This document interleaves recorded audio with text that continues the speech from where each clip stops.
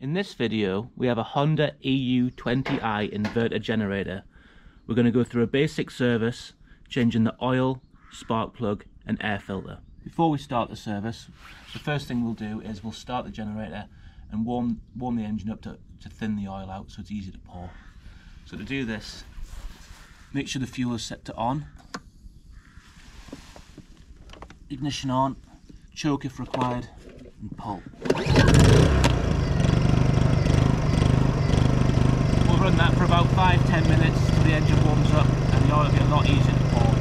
The engine also has a fast idle, which can be which can be done by pressing this button here. This increases the RPM of the engine. And if you set it back, you set it back to tortoise mode, and the RPM drops. Now the engine's warmed up, we've turned it off, and it's time to drain the oil. To do this on the side panel here, where the choke is, there's a, a screw, a flat blade.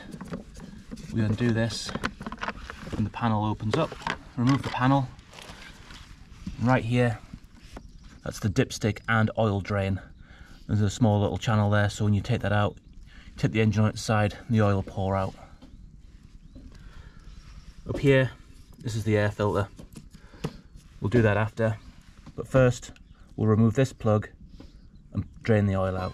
In this engine there's 0.4 litres of engine oil and this is what we're going to be replacing it with which is genuine Honda 10W30 4 stroke oil designed for this engine. So let's drain the oil out.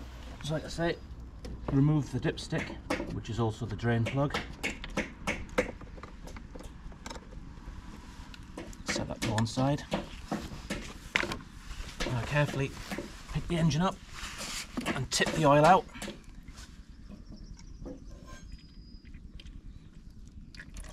There's not particularly that much of it, 0.4 litres. And on these engines they do have a low oil cutout, so if the oil does drop below a certain predetermined amount the engine will not start. And there, but there is a, a low oil indicator light that illuminates.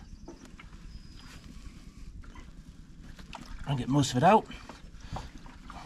Since we since we warmed the engine up, the oil is so thin now it pours just like water. And once that's out, set the engine back down. Something that's quite good with these Honda engines is you can't really overfill them. Um, the manual suggests when you refill the oil into here, you lay it on a flat surface and basically the engine finds its own level. Um, so on a level surface, if you overfill it, the oil will pour out. So we'll fill this up now. We've got a, a jug to measure the oil. Just take the lid off the, the oil. 400 ml on 0.4. Fill it up there onto the jug, onto the level. The lid back on.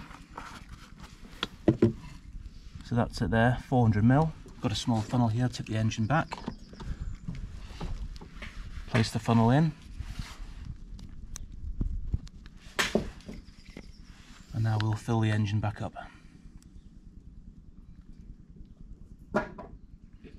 Just a small amount at a time. There we go. That's the full 400 mil of oil in there. Remove the funnel. Now as we lay the engine back down if it is too much, the oil will pour back out. As you can see there, it's right up to the mark. I don't think anything's just coming out, it's just on the last thread there. So we know there that the engine is full. One last thing, once we put the dipstick in, just give a, a clean up of all the old oil that may have spilt. Right, now we'll move on to the next step, which is the air filter. So for the air filter, this housing here. We have one screw, the same as the front cover. Undo the screw.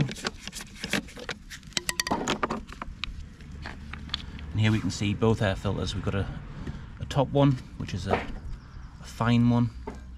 We have a lower one, which is a lot coarser. Remove them. Give a quick wipe.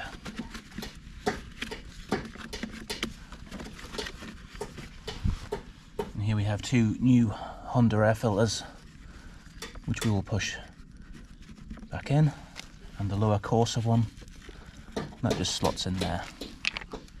Like disassembly, the assembly is straightforward. Place the cover over and then screw back into position.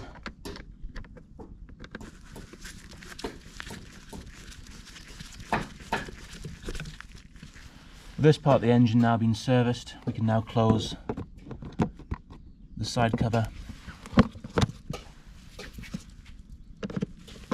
and re-secure it. We'll now do the spark plug which is accessed from the top on the other side. So on the Honda 20 the spark plug access hatch is here on the opposite side to the service inspection plate. It's a simple case of just pushing in and lifting up. Remove the cover and here we have the spark plug boot just pulled off. Now we have access to the spark plug which we'll remove with the spark plug socket. We'll remove this now. Long reach and remove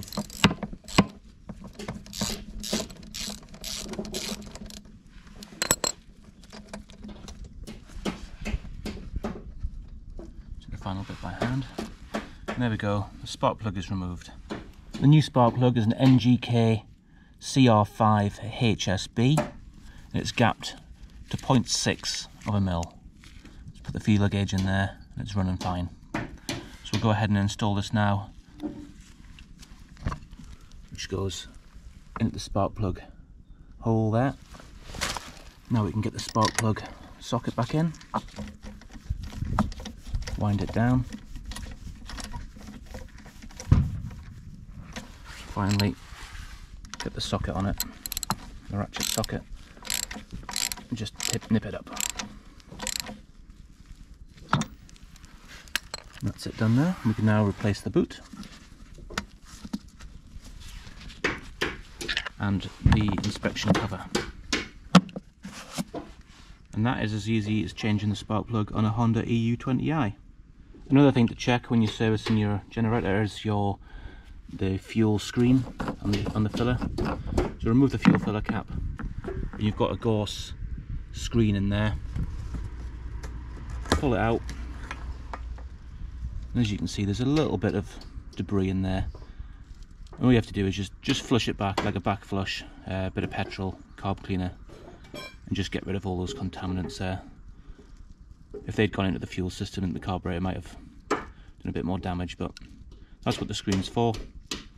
So we'll give that a clean put it back into the engine.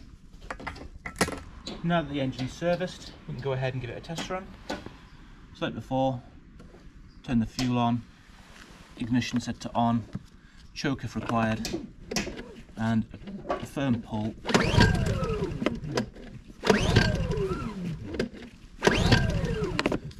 choke on. There we go.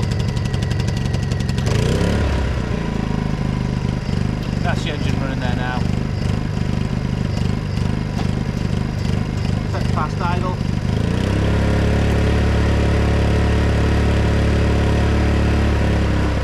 Back to idle.